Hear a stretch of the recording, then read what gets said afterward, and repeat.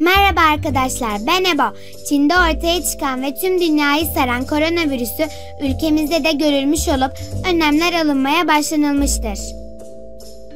Mogaritma animasyon olarak bu virüse karşı kendimizi nasıl koruyacağımızı kısaca sizlere anlatacağım.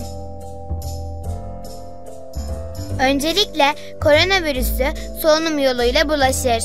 Belirtileri kuru öksürük, nefes darlığı, yüksek ateş. Koronadan korunmak için ilgili yetkililerin uyarılarına dikkat et.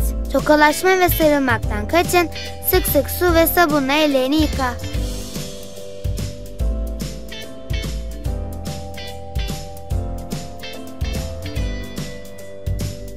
Ağız, burun ve gözlerine dokunma, kalabalık ortamlardan uzak dur. Öksürme ve hapşurma sırasında ağız ve burun tek kullanımlık mendille kapatılmalı. Mendil yoksa dirseğin iç kısmını kullan. Mecbur kalmadıkça evden dışarı çıkmamalı, evi sık sık havalandırmalı. Dengeli ve sağlıklı beslen, sık sık gülümse, umutsuzluğa asla kapılma.